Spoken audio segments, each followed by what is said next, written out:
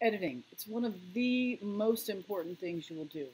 You spend a lot of time writing and producing your content, but if you don't edit yourself before you submit, then you are doing yourself a great disservice.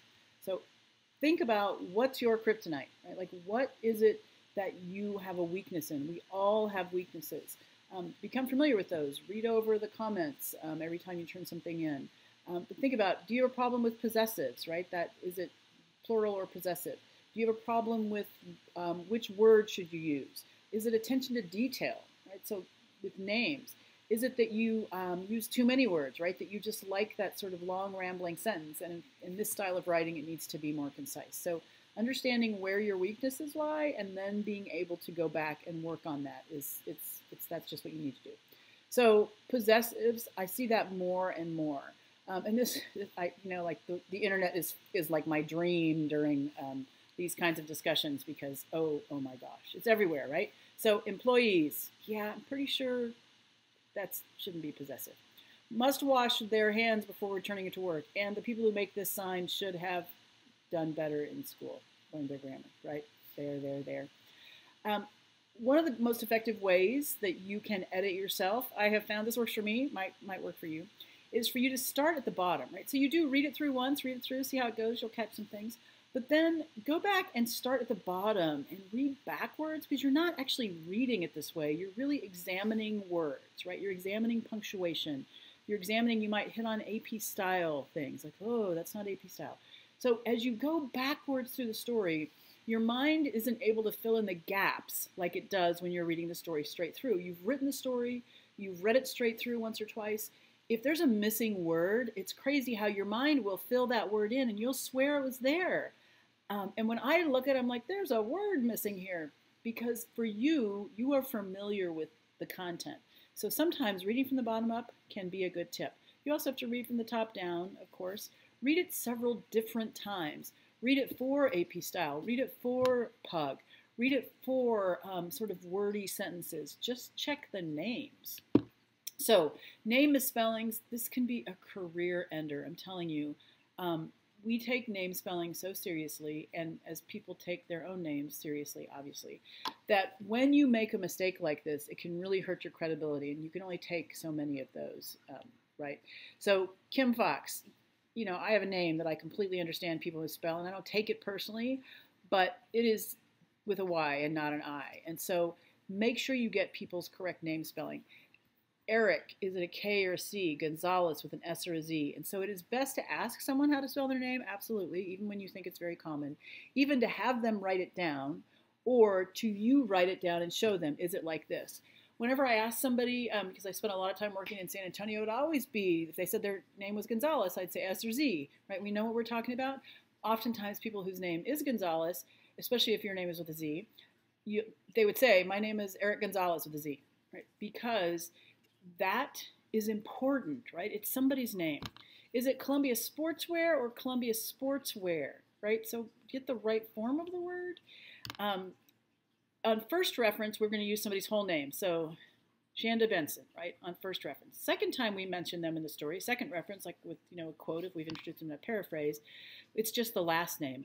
But don't misspell it, you know, the next time you use it. And I've seen that before. It's right once, the second time it's incorrect. That is a problem, and that will re, um, result in an excess, uh, a big point deduction, right? A big point deduction.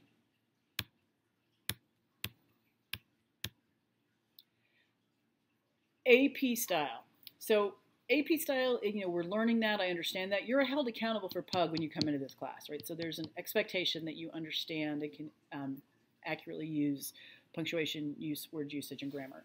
AP style, I realize you're learning, right? So um, think about AP style in terms of as you're writing, if your fingers pause over the keyboard and you're asking yourself, should I spell this out or abbreviate it? Is it a number? Is it the word? If you're asking yourself that in your head as you type, then you should probably look it up.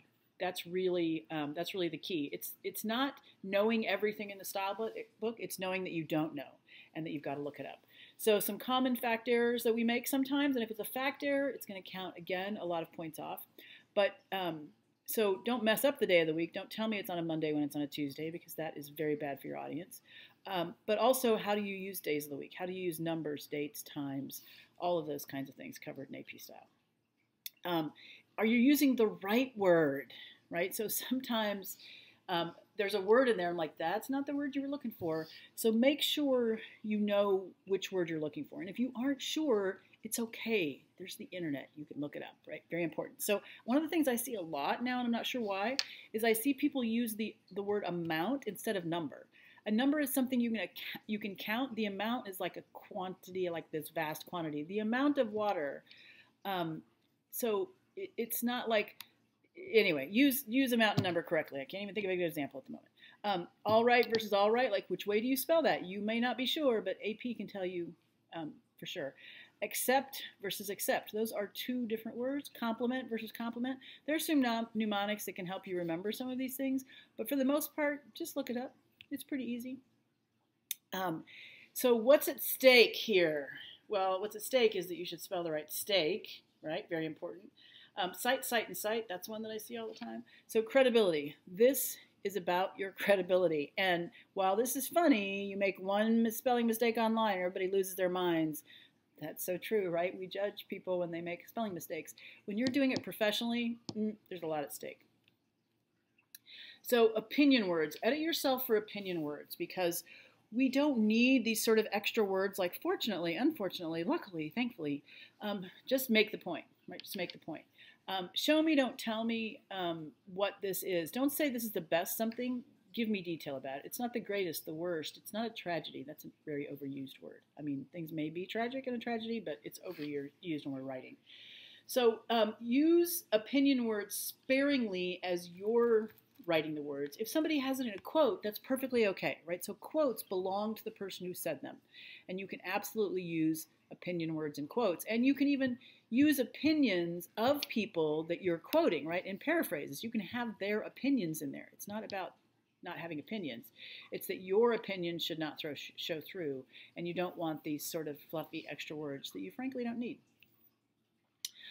Um, you know, grammar errors are so serious in this class, so serious that they result in a five-point deduction for pug errors, five-point deduction each time. That's that's tough, I realize, but um, when we're coming into this, there's an expectation that we know these rules, and this is a sign of professional writing. So when you go to apply for an internship, one of the biggest killers is when they ask for writing samples because most of our professions ask for writing samples, and you will have some from this class if there's an error in the first sentence, if there's an error in the first couple of paragraphs, you know, if really if there's an error anywhere in there, misspelled word, um, bad punctuation, that is going to be harmful, right? It's it's hard to bring somebody into the office as an intern or for a job that has those problems because they realize somebody in the office is going to have to fix that. So there's a rubric um, that you can check out, but it basically goes like this. If you make a fact error, that's a name or something like that, anywhere from 10 points to 50 points, depends on what it is and how often it happens. But, you know, name errors generally on the side of 50 points off, like failing, failing the assignment. AP style, two points, pug, five points, um, opinion words, you know, that kind of stuff. So watch, watch that, check the rubric.